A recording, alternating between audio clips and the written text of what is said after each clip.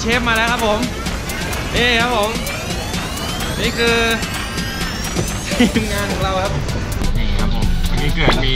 เอ่อไม่ใช่เวียดนามนะมีการปะทะคารมกันนิดนึงครับเพราะว่าประตูเป็นประตูอัตโนมัติไม่เกี่ยวครับผมผม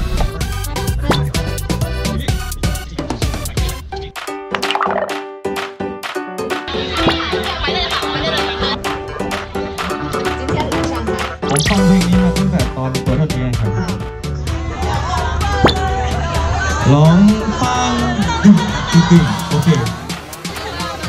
นี่เป็นอาหารโปรดของผมเลย 他最喜欢吃的菜的。ส้มตำ